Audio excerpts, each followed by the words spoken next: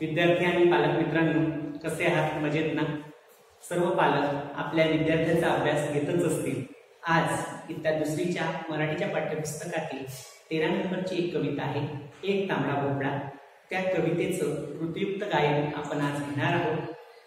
मी ज्या प्र- प्रमाणे कृती करत आहे त्याप्रमाणे आपल्या विद्यार्थ्यांकडनं ह्या कृती करून घ्यायच्या आहेत. म्हणजे त्याला एक प्रकारचं मनोरंजन तर येणारच आहे. परंतु त्याचं कवितेचं जे दृढीकरण आहे कविता पाठांतर ते सुद्धा ही गोष्ट सुद्धा याच्यातून आपल्याला साध्य करता येणार. चला तर सुरू करूया. एक तांबडा भोपळा वेळीवर कापला त्याच्या उभ्या पोळीमध्ये अर्धचंद्र लपला.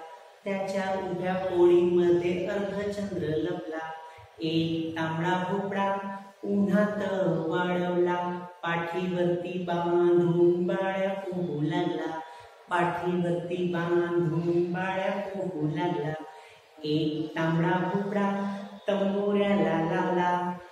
कुणी तारा छेडता साथ करू लागला.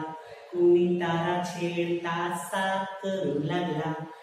एक तांबडा भोपळा पाय लावले त्याला. गेला टुनू टुनू घेऊन म्हातारीला. गेला टुनू टुनू घेऊन म्हातारीला. एक तांबडा भोपळा कुठे होता पळाला गणिताच्या पुस्तकात जागोजागी दिसला. गणिताच्या पुस्तकात जागोजागी दिसला. धन्यवाद.